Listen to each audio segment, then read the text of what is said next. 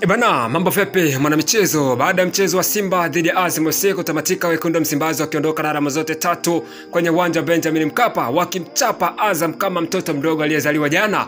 Simba Sports Club baada ya mchezo kutamatika, mchambuzi wa soka Tanzania Joja Mangere anasema aina ya mechi ambayo ilikuwa inahitaji nani atatumia nafasi zake, maana ilikuwa ni wazi sana, space zipo nyingi na isu ya nani atakuwa nafasi na mfanisi zaidi ya mwenzake, na Simba Sports Club alikuwa mfanisi zaidi Azam FC. Simba Sports Club ni kama walikuwa wanajua wachezaji wote wa mbele wa Azam FC, ukiacha Faisal Salum Abdalla ni wapenda mpira mguuni, ball to fit.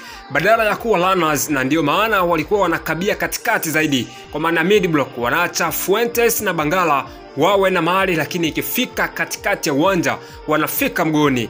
Shida ya Azam FC dhidi ya mid block ya Simba ni kukosa runners. Kwa nini? Na kwa sababu Ben Zaidi, Bangala, Fuentes na Kaminko walikuwa wanapewa muda mwingi na nafasi kwenye mpira. Kilichotakiwa ni wachezaji wa mbele wa Azam FC kufanya runners nyuma ya safu ya ulinzi ya Simba Sports Club ili kuweza kutengeneza nafasi nzuri, na ukibadilisha meza ndiyo kitu ambacho Simba Sports Club waliwafanyia Azam FC kwa sababu Chilambo na Msindo walikuwa wanahama sana kusogea juu, maana yake kuna spesi nzuri pembeni ya uwanja. Fredi ndani dhidi ya Bangara na Fuentes, Chasambi na Barua kwenye Lanas nje ya mabeki wawili wakati wa Azam FC kwa sababu fullbacks hawapo juu. Simba walifanya hivi mechi nzima kipindi cha kwanza na cha pili ili ishu ya kutoa adhabu stahiki kwa Azam FC iweze kupatikana. Na kipindi cha pili Simba waliongeza juhudi kubwa sana ya kushinda mipira ya pili mingi pamoja na kushinda mapambano yao dhidi ya wachezaji wa Azam FC.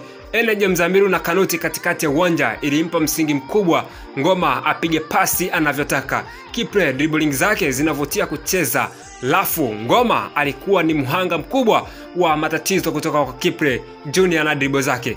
Kwenye mechi kama hizi, ukipata nafasi usipotumia, utakuja kuadhibiwa wewe, na waulize Azam FC kilichowakuta wao, ndio wanajua. Hawa vijana wavumilieni, tuendelee kuwapa muda. Msindo, Chilambo, Chasambi, Barua, Izra watafika pale ambapo sisi ishara zetu zipo na zinatamani kuwaona wakiwa katika kilele cha mafanikio. Zimbo Junior, Mr Leliabo, miongoni mwa wachezaji ambao ni bora bora bora sana kwenye ligi kuu Tanzania bara na wanazidi kuonyesha kitu kikubwa kadri wanavyozidi kucheza ligi kuu Tanzania bara. Kuna muda watu wanamshutumu Zimbwe Junior